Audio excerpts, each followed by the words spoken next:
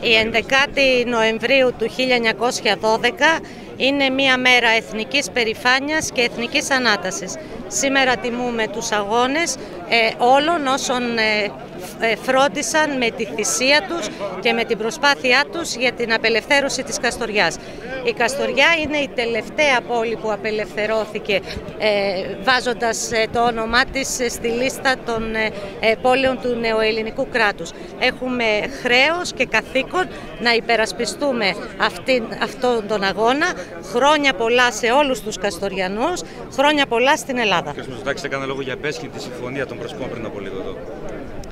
Ε, κοιτάξτε να δείτε, ιστορικά και πολιτισμικά η Μακεδονία είναι ελληνική.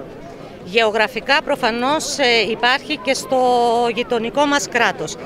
Άλλοι ξεπούλησαν τον όρο Μακεδονία εδώ και δεκαετίες και σήμερα το παίζουν ηγέτες.